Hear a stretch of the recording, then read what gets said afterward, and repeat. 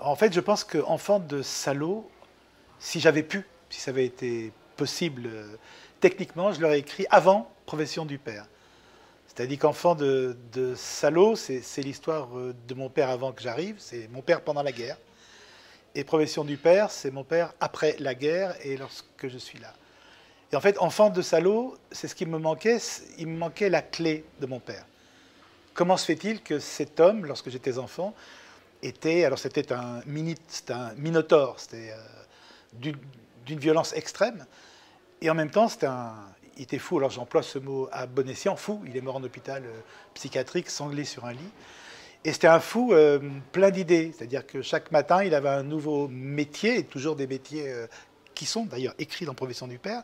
Donc il était professeur de judo, il était pasteur presbytérien, il, était, euh, il avait créé les compagnons de la chanson, mais comme Edith Piaf était tombée amoureuse de lui, donc il était obligé de quitter le groupe.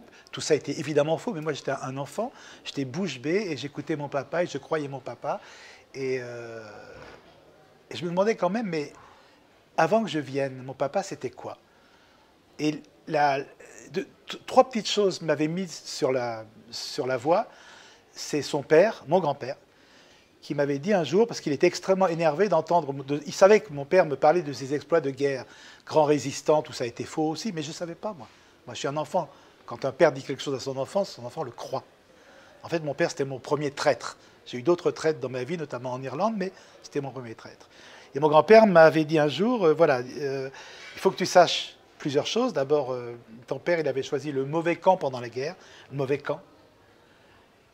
La deuxième chose, c'est qu'il avait vu, nous sommes de Lyon, il avait vu habillé en allemand à Lyon. Et la troisième chose, donc en allemand pendant la guerre, en uniforme allemand pendant la guerre.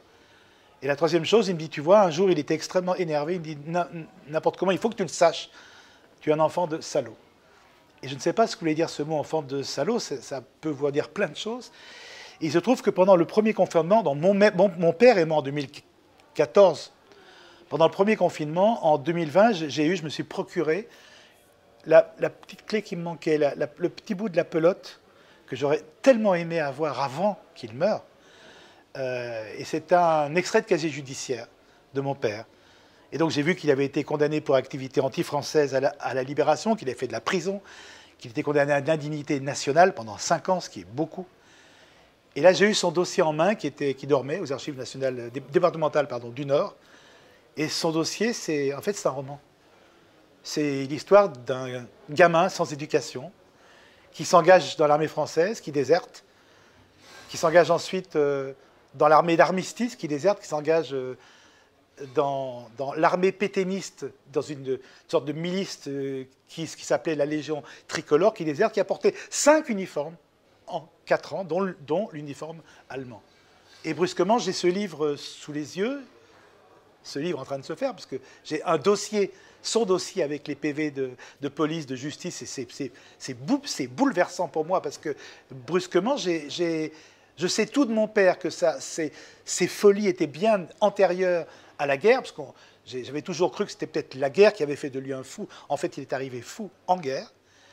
Et je me suis dit, voilà, il faut que je fasse quelque chose de, ce qui lui est arrivé. Et veux que ce soit un roman. Donc je ne vais pas toucher à cette guerre-là parce qu'elle est, elle est insensée. Je ne crois pas qu'en France, je ne pense pas qu'il y ait une personne en France qui ait porté cinq uniformes en quatre ans. Ça me semble cinq uniformes et demi en quatre ans. Ça me semble totalement impossible et qui s'en sortent. Et le fait que je suis là, et le fait que je suis là, en est la preuve. Et je me suis dit, je, vais, euh, je vais prendre toute cette histoire, mais je vais la décaler très légèrement. Mon père est mort, donc je n'ai pas pu le confronter, je n'ai pas pu lui dire papa, je sais quelle a été ta, guerre, je ne peux pas. Mais grâce à la fiction, grâce au roman, euh, ben, ce que j'ai fait, j'ai déporté la trouvaille de son dossier en 1987 à Lyon, à l'ouverture du procès de Klaus Barbie. Nous étions à Lyon et mon père m'avait demandé à assister à ce procès, lui qui avait choisi le mauvais camp, à assister au procès de l'un de ses chefs, en fait. Et j'ai tenu et je me suis dit, voilà, mon, mon roman, ça va être ça. C'est que mon père, qui a choisi le mauvais camp, est avec moi dans ce tribunal, comme il l'a été effectivement dans le tribunal pendant tout le procès. Mais j'aurais ce petit plus, cet énorme plus, lors de l'ouverture du procès de Klaus Barbie, criminel contre l'humanité, j'aurai mon père qui est dans le public, mon père qui est là, qui dit rien, et je sais ce qu'il a fait parce que j'ai son dossier. Et grâce au roman, grâce à la fiction, je vais enfin pouvoir lui dire, papa, je sais. Et sa réaction va être exactement ce qu'elle aurait été. Elle va, elle va être d'une violence folle et en même temps d'un désarroi immense parce que quand on ment comme ça une vie entière, quand brusquement la vérité s'offre à vous en face et en plus sous le visage de votre fils, je pense que vous êtes promis, euh, vous êtes promis à la mort. On s'en sort pas. Et je voulais pas qu'il s'en sorte.